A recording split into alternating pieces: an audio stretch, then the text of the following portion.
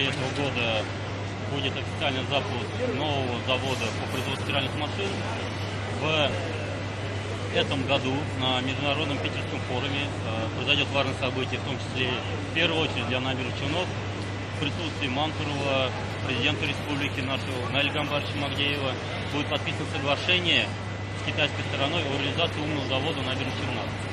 Говорю вам, что такое умный завод. Да? Умный завод это не только полная автоматизация, это когда роботы начинают думать.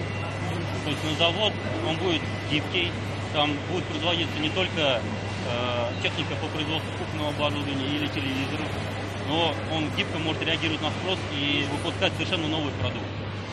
Поэтому вокруг этого завода будут формироваться специальные платформы, современные платформы, которые являются сегодня государственным стандартом в Китайской Народной Республике. И реализованы уже и в Соединенных Штатах Америки, и в Индии, и в многих других странах. И очередь пришла до России.